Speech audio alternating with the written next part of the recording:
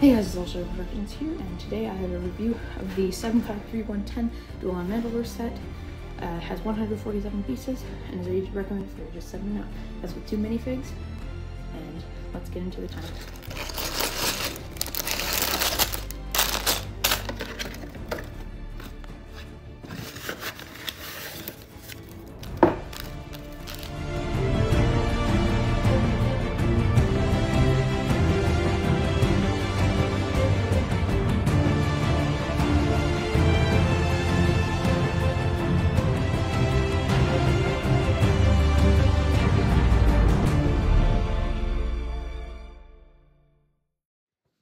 Guys, it's Lachy Productions here with my review of the set 753110 Duel on Mandalore set.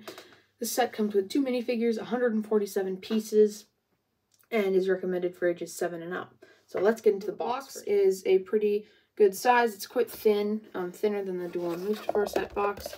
You have the clone, uh, 332nd on the uh, clone on the top, and on the back it shows you some play features of the set.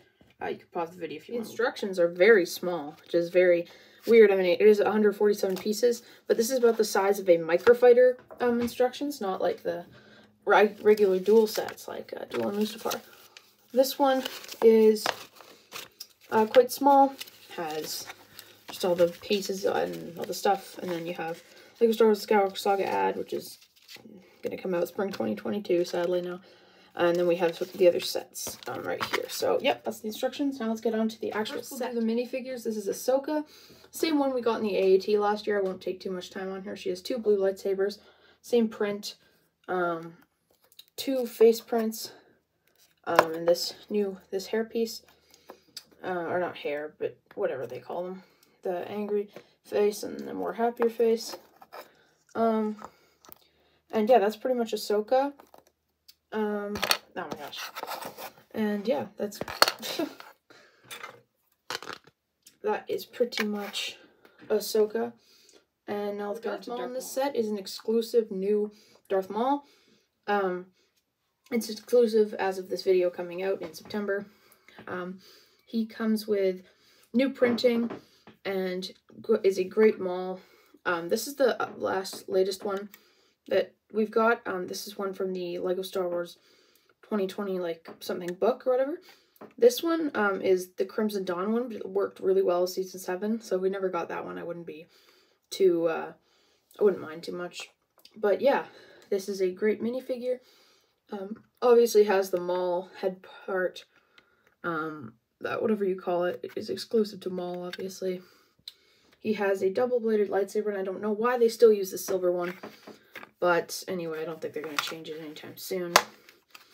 Um, and he has a nice back print. Um, and yeah. So now let's get on to the so builds. the two builds you get in this set are quite small. You have the throne room, or just basically just the throne, and then this small chamber holder thing that uh, Maul goes in.